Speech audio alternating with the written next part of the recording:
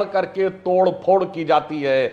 जब स्पष्ट जनादेश के बाद गठबंधन के अंदर टूट टूट की जाती है व्यक्तिगत अहम और सत्ता के लिए तो इस ढंग की विचित्र परिस्थितियाँ उत्पन्न होती हैं जो महाराष्ट्र को बाद में देखनी पड़ी परंतु निराधार जो गठबंधन होता है वो नहीं चल पाता और इसलिए जो पार्टी के कार्यकर्ता और कैडर आपके साथ नहीं भाई। रहे एक लाइन जो मैं फिर कह रहा था रिपीट रिपीट कर दूँ कि पार्टी को परिवार न मानकर परिवार को पार्टी मानने के कारण यह समस्या मैं रिटायरमेंट पे भी आऊँगा जो लालू यादव ने बोला है। वारिस पठान मैं आपसे सवाल पूछता हूँ क्या आपको लगता है कि राजनीति में रिटायरमेंट की उम्र होनी चाहिए? क्योंकि लालू यादव भाई सबसे पहली बात तो ये कि हमारे लिए तो एक तरफ़ बीजेपी है। अच्छा अभी सुनिए ना अभी आप अमीश भाई हमारे लिए तो ऐसा हो गया है कि हमारे लिए एक तरफ़ बीजेपी है और एक तरफ़ ये सो कॉल्ड सेक्युलर पार्टी है। और हमारी हालत हो गई है रजिया गुंडों में फंस गई। इनके खिलाफ बोलता हूँ। तो एंटी नेशनल हो जाता हूँ सेक्युलर खिलाफ बोलता हूँ। तो मैं सेक्युलर नहीं रहता मैं बीजेपी की बी टीम बन जाता हूँ मगर प्रफुल्ल पटेल शरद पवार के साथ पटना में थे वो मीटिंग में। जहाँ हमको तो नहीं बुलाया हम तो इनके लिए पोलिटिकल अनटचेबल्स है। मीटिंग पटा के वो आए और सीधा चले गए बीजेपी के अंदर ज्वाइन कर दिए। अब हमको जो आज तक बीजेपी की बी टीम बोल रहे थे, वो तो ऑफिशियली बीजेपी की बी टीम बन गए। अब बात नंबर दो, इतना बड़ा काम हो गया। अजीत दादा ने तीस से ज़्यादा एमएलए को लेके चले गए। बीजेपी को समर्थन दे दिया। खुशी की बात थी बीजेपी के लिए। मगर इस खुशी के मौके पर मोदी जी ने, नड्डा जी ने, अमित शाह ने एक भी मुबारकबादी नहीं दी, ट्वीट नहीं किया। क्या सब खैरियत तो है कि वापस खेला होने वाला है कुछ अलग से? ये तो समझने वाली बात है, अमीश भाई। अब बात नंबर तीसरी ये है, मोदी जी ने चार दिन पहले क्या कहा? एनसीपी सबसे भ्रष्ट पार्टी है। सत्तर हज़ार करोड़ का घपला कर दिया उन्होंने वो बैंक का। मगर उसी के साथ जाके हाथ मिला दिए। मोदी ने कहा, ना खाऊँगा, ना खाने दूँगा। मगर पूरे एनसीपी को ही खा गए वो तो। फडनवीस का स्टेटमेंट देखो दो दो वीडियो है। मैं भेजूँगा में आपको व्हाट्सएप पे। क्या बोलते हैं फडनवीस एक जगह? आई will send Ajit Dada to jail in jail Ajit Dada will do chakki fishing and chakki पिसिंग एंड पिसिंग कहाँ चले गई वो चक्की अभी? उसका क्या होगा? चक्की का वो नहीं पता। फडनवीस ने वापस एक वीडियो के अंदर कहा, कुछ भी हो जाए, अकेला जाना पसंद करूँगा और अकेला रहूँगा ज़िंदगी भर, मगर एनसीपी के साथ हाथ नहीं मिलाऊँगा। अब क्या हो गया? हाथ भी मिला लिए, गले भी मिल लिए, सत्ता में भी। इसीलिए मुझे गाना याद आ रहा है ना अमीश भाई। पिक्चर का नाम है भागम भाग ना बीवी, ना बच्चा, ना बाप बड़ा, ना मैया। The whole thing is that भैया सबसे बड़ा रुपया, ईडी, सीबीआई का डंडा। चाचा भतीजे का नहीं भतीजा चाचा का नहीं वक्त इतना खराब चल रहा है अमीश भाई। देखिए क्या हो रहा है देश में। और बदनाम हमको।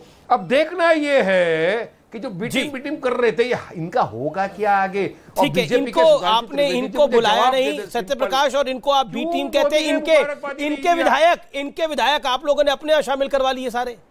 तब तब कितने पैसे दिए थे इनके विधायकों को? हम किसी को ना बी टीम कहते हैं और ना हम किसी विधायक को पैसे दे करके कुछ करते हैं। वो विधायक पहले भी बिहार की राजनीति में आरजेडी और जदयू के साथ रहे हैं। वो विधायक वापस अपनी जगह तो पर तो बीजेपी पैसों में ले रही है और आप पैसों में नहीं ले रहे आप इस चीज़ को समझिए हम कांग्रेस राजस्थान में पैसों में नहीं ले रही। हमने कोई आधी रात किसी को मंत्री नहीं बना दिया। वहाँ पे सबको नौ लोगों को बुला तो के दोपहरी में मंत्री बनाया है। नौ लोगों को बुला करके मंत्री बना दिया उप मुख्यमंत्री बना दिया। चार दिन पहले कह रहे थे चक्की पी सिंह और ये बहुत करप्ट लोग हैं। जी। आप समझिए नर आदरणीय प्रधानमंत्री नरेंद्र मोदी का दुमुहापन देखिए कि जैसे शामिल हो गए तो अब वो दूध के धुल गए। हेमंत विश्व शर्मा को आज तक जाँच वारिस 30 सेकंड। उन पर ब- जाँच सुनिए, बंद कर दी। ऐसे इन पर जाँच बंद रातों रात मंत्री- समस्या ये है इस देश आबिश भाई इन्होंने झूठ कहा। एक इन्होंने कहा हमने किसी को रातों रात मंत्री पद नहीं दे दिया। इन्होंने क्या कहा? अभी झूठ कि हमने रातों रात किसी को मंत्री पद नहीं दे दिया। गलत बोल रहे हैं। बिहार में जब इन्होंने हमारे चार विधायकों को तोड़ा जब उनके ईमान को खरीदा अरे किसी को नहीं खरीदा, आप गलत जानकारी रख रहे क्या हुआ? तब कुछ नहीं तब सब कच्चा है। अरे सब गंदा है गलत पर- जानकारी शाहनवाज को बनाया कि नहीं मंत्री चलिए बताइए। किसी अरे को बनाया आपने, बनाया, वो शामिल हुए हैं RJD में। चेक करके आइए मंत्री बनाया शाहनवाज को। आधी रात मंत्री नहीं बना दिया, जिस तरह महाराष्ट्र की घटना हुई, आपके विधायक उधर गए, के- में वो उनका स्वागत किया। हाँ कान पकड़ के माफ़ी मांगना पड़ेगा सबके सामने टीवी के चैनल पे बैठ के बोलो मांगेंगे माफ़ी। अरे उसको आधी रात किसी ने मंत्री नहीं बनाया क्या वारिस पठान आप कुछ भी बोलते चले जा रहे हैं? बनाया वो लोग पहले भी राजनीति आपके साथ नहीं करते थे। आपका जो प्रदेश अध्यक्ष था वो तो जदयू की राजनीति हमेशा करता रहा। आपको मालूम ही नहीं है। आपको बिल्कुल जानकारी नहीं है। आपको बिल्कुल जानकारी नहीं है। आपने उनको आपको कोई जानकारी नहीं है बिहार की राजनीति में। और झूठ बोलते हैं। लोग अगर कह देते हैं आपको झूठ बोलते हैं। क्या बिहार की जानकारी नहीं है मेरे को? क्योंकि? आपकी हरकतें इतनी सांप्रदायिक चली जाती हैं? है कि लोगों को दिक्कत होता है आपसे बात करने आपके बयानों पर। साहब एक समझ लीजिए महाराष्ट्र की घटना पूरी तरह अलग है वारिस- साहब आप होल्ड करिए ना। बात तीस सेकंड तीस सेकंड बोलने दीजिए ओके आप अपनी बात को रखिए। देखिए बिहार में उनके विधायक आरजेडी जेडीयू में पहले भी राजनीति करते रहे वो चले गए उनको मंत्री नहीं बनाया आधी रात बुला करके। दूसरा पॉइंट प्रधानमंत्री अच्छा राजनीति में रिटायरमेंट की कोई उम्र नहीं होती? राजनीति जो लोग मुस्तैदी से करते चले जाए उनके लिए क्या रिटायरमेंट सुधांशु इसका जवाब सुधांशु इस बात का जवाब लालू यादव कहते हैं रिटायरमेंट क्या होती है? रिटायरमेंट लेने की तो कोई बात ही नहीं है। अटल जी ने भी अजीत- रिटायर पर अटल जी अटल। जी रिटायर हो गए थे। नहीं, उन्होंने 2004 कहा था, के बाद ना retire, ना 2004 के बाद अटल बिहारी वाजपेयी रिटायर्ड थे he was at home L K Advani retire हुए मुरली मनोहर जोशी रिटायर हुए। हमने रिटायर होते हुए लोगों को देखा है। पीवी नरसिम्हा राव रिटायर हुए। उन्होंने मनमोहन सिंह रिटायर हो गए। ना point. टायर ना रिटायर ओके सुधांशु। हाँ वो प्रधानमंत्री के समय कहा था प्रधानमंत्री पद से हटने के बाद उन्होंने भाजपा में कोई पद नहीं रखा था।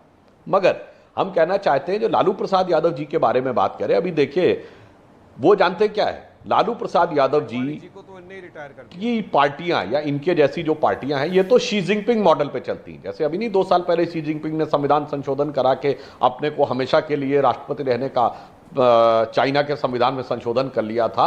वो संविधान संशोधन इन सारी पार्टियों में है। इसलिए रिटायरमेंट का सवाल ही नहीं। ये तो भाई उस सिस्टम में बिलीव करते हैं ना कि जब तक रहेंगे हम रहेंगे उसके बाद हमारा परिवार रहेगा। तो परिवार तो यथावत भी रहेगा वो शाश्वत रहेगा अगर पार्टी रहेगी तो। नहीं, नहीं, तो इसलिए इनके यहाँ परिस्थिति ये नहीं मोदी जी खुश नहीं है क्या इस गठबंधन से? नड्डा जी खुश नहीं है इस गठबंधन से अमित शाह खुश नहीं है। एक और अजय बात अजीत पवार को ज्वाइन कर लिया तो एक एक- एक-। सुनिए। देखिए, वारिस जी ने एक बड़ी मज़ेदार बात बोली थी डिबेट के शुरू में कि मुस्लिम समाज की स्थिति हो गई कि रजिया फंस गई गुंडों में। कुछ हद तक मैं उनकी बात से सहमत हूँ। जिस जंग से बरगला कर सब लोग मुस्लिम समाज को कैप्टिव बनाना चाहते हैं अपने में, वो हद तक सही है। मगर वारिस भाई, आपके साथ भी स्थिति जानते क्या है? आपका लेना एक ना देना दो महाराष्ट्र में। खाम खाम एक कहावत है, बेगानी शादी में अब्दुल्ला दीवाना। मतलब आप आके खामखा में ताली पीट रहे हैं। हमारे चार को लेकर लेके चले गए कुछ लेना एक ना देना। दो। महाराष्ट्र में हमारे दो दो एमएलए अरे एक खासदार है तो हमारा कुछ टेक तो नहीं है। महाराष्ट्र में हमारा एक खासदार है दो एमएलए है मैं खुद एमएलए रह चुका हूँ महाराष्ट्र का। मैं ये कह रहा हूँ कि सरकार किसी की भी बने। हम लड़ रहे आपका तो कुछ भी स्टेक नहीं था। दो एमएलए वाली पार्टी थी मगर आके आप भाषण ऐसा दे रहे हैं कि जैसे 200 एमएलए के ऊपर जो हुआ है वो सब आप तय करने वाले हैं। और आपने खुद बोला कि ना आपको विपक्ष में किसी ने बुलाया न सत्ता पक्ष में किसी ने बुलाया। इसीलिए तो मैं कह रहा हूँ हाँ। अब टीवी डिबेट पे आए तो कुछ ना कुछ बोलना था। मगर एक बात कहूँगा अमीश जी जो बात बोली वारिस पठान ने, वो तो कलेजे को चीर गई होगी सत्य प्रकाश जी के लिए। वाह भाई वाह। दूसरी पार्टी के एमएलए आपकी पार्टी में आए तो तो हृदय परिवर्तन। और अगर आपके ही या अन्य पार्टियों के लोग दूसरे में चले जाएँ तो साहब वो सबसे बड़ा अपमान, तिरस्कार और लोकतंत्र की हत्या।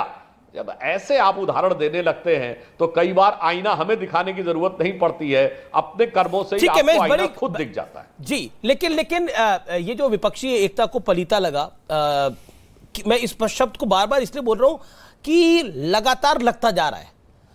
तो कहाँ जाके रुकेगा? देखिए कहीं ना कहीं नरेंद्र मोदी की जो दूसरी कार्यकाल है उसमें वो विफल साबित होते जा रहे हैं और विपक्षी एकता लगातार जो उनसे उनकी नीतियों पे संघर्ष करते आ रही है तो वो जो इकट्ठा हुई उससे वो घबराए। प्रफुल्ल पटेल ने एक बात बोली घबराए। एक, एक सेकंड सुन लेंगे तो आप तो अनुराग भुदौरिया नहीं है तो इसलिए मैं आपसे सवाल पूछ सकता हूँ। अरे जी बताइए। जी तो आ, सर मेरा आपसे सवाल है कि जब प्रफुल्ल पटेल ने बोला कि विपक्षी एकता की जब बैठक हो रही थी तो मुझे हँसी आ रही थी ये लोग कैसे मोदी के सामने लड़ेंगे? किसी का एक सांसद है किसी का एक भी नहीं है और वहाँ पर जिस तरह की बातें चल रही थी उसको सुनकर तो और ज़्यादा हँसी आ रही थी मुझे। नहीं प्रफुल्ल जी अब बाहर निकलकर क्या कह रहे हैं? चूँकि वो तो अब दूसरी तरफ़ चले गए तो उनके बातों को अब सीरियस तो नहीं लेना चाहिए। लेकिन प्रेस कॉन्फ्रेंस में जिस तरह से विपक्षी एकता के तमाम लोग सामने जी, जी। आए और एक साथ बैठ करके सिवाय केजरीवाल जी और स्टॉलिन जी नहीं थे उसमें एक साथ बैठ करके ये कहा कि हम लोकतंत्र को बचाने के लिए इस सरकार से लड़ेंगे इकट्ठा लड़ेंगे। एक कहावत है तीन बुलाए तेरा आए दे दाल में पानी। यहाँ आपने तेरह बुलाए तीन तो अब तीन तो पहले ही गायब हो गए और एक मीटिंग से जाने के बाद बोलता है अब पार्टी वहाँ पे टूट जाती है और वो बोलता है कि मुझे हँसी आ रही थी। सुधांशु सुधांशु त्रिवेदी जी। बीस सेकंड। जी। अमिश देवगन जी ये लोकतंत्र है। सहमति और असहमति का लोकतंत्र है। बिल्कुल सहमति और असहमति का है, लोकतंत्र लेकिन- लेकिन- लेकिन- लेकिन- अभी चीज़ें और सामने आएँगी। जुलाई की बैठक होनी थी वो टली है थोड़ी। अभी चीज़ें और सामने आएँगी। जुलाई वाली बैठक टल गई है। चीज़ें अभी और सामने आएँगी।